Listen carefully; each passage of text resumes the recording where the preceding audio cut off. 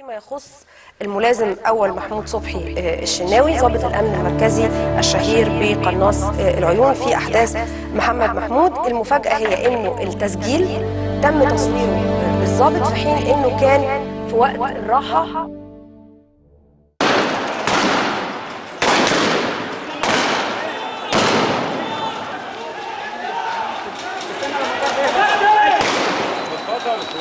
حاسب يا جماعة حاسب يا جدعان. بيعمر بيعمر بيعمر يا جدعان بيعمر يا جدعان ابعدوا يا جدعان. بيعمر.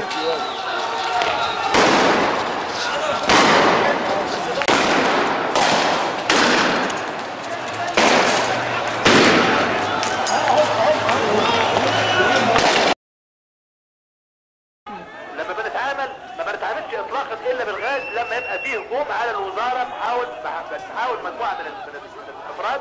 اقتحام ال- ال- السدادات والدخول لمبنى الوزارة. مش مسموح طبعا تدخلوا مبنى الوزارة.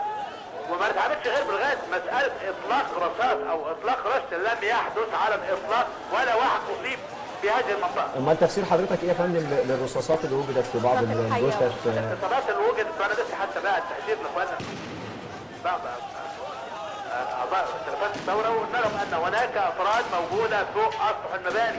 وبالذات المبنى الجامعة الأمريكية ودي أكثر من واحد بلغ بهذا الكلام. وال- والعمارات المطيعة الم- الم- المطلة على شارع محمد محمود. وفي ناس موجودة معها سلاح. إحنا مالناش تواجد في المناطق دي بالذات. المناطق دي بالذات تحت تحت سيطرة الثوار وإحنا ما بنحبش نخشها عشان مش هيبقى في مفيش احتكاك بيننا وبينهم. نرجو ان هم يأمنوا هذه المباني ونرجو إنهم يأمنوا المباني المطلة. على التحرير لأن في ناس بتطلع في هذه المباني. وإحنا في الفترات الأولية لما كان بيبقى فيه مليونات كنا بنتفق مع مع شباب الثورة إنه يأمنوا مداخل العمارات بالتنسيق معانا. كنا بنبعت أفراد من الشرطة السرية مع أفراد من من من تلفات الثورة وبنأمن جميع مداخل العمارات المطلة على ميدان التحرير. لما بنتعامل ما بنتعاملش اطلاقا إلا بالغاز لما يبقى فيه هجوم على الوزارة بحاول بتحاول مجموعة من من ال- من الأفراد اقتحام ال- ال- السدادات والدخول لمبنى الوزارة. مش مسموح طبعا تدخلوا مبنى الوزارة.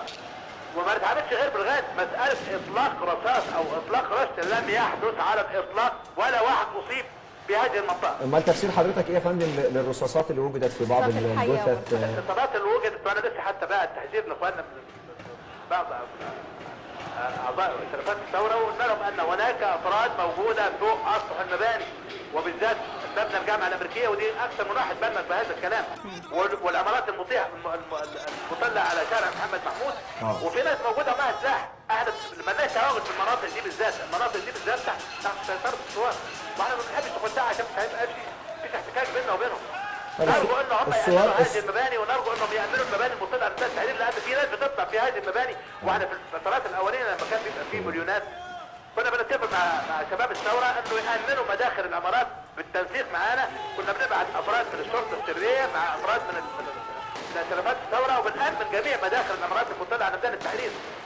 لما بنتعامل ما بنتعاملش اطلاقا إلا بالغاز لما يبقى فيه هجوم على الوزارة بحاول بتحاول مجموعة من ال- من ال- من الافراد اقتحام ال- ال- السدادات والدخول لمبنى الوزارة. مش مسموح طبعا تدخلوا مبنى الوزارة.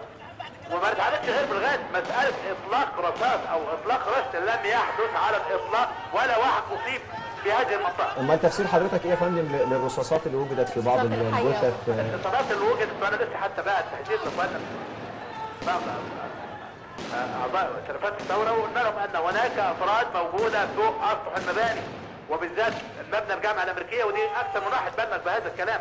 وال- والعمارات المطيعة الم- الم- المطلة على شارع محمد محمود. وفي ناس موجودة معها سلاح. إحنا مالناش تواجد في المناطق دي بالذات. المناطق دي بالذات تحت تحت سيطرة الثوار وإحنا ما بنحبش عشان مش هيبقى في مفيش احتكاك بيننا وبينهم. نرجو ان هم يأمنوا هذه المباني ونرجو إنهم يأمنوا المباني على ميدان التحرير لأن في ناس بتطلع في هذه المباني وإحنا في الفترات الأولية لما كان بيبقى فيه مليونات. كنا بنتفق مع مع شباب الثورة إنه يأمنوا مداخل العمارات بالتنسيق معانا. كنا بنبعت أفراد من الشرطة السرية مع أفراد من